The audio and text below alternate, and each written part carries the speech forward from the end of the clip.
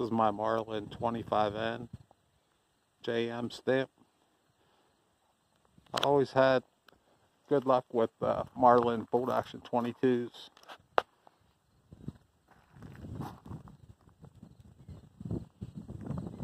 Got it topped off with a Bushnell banner 3x9 illuminated.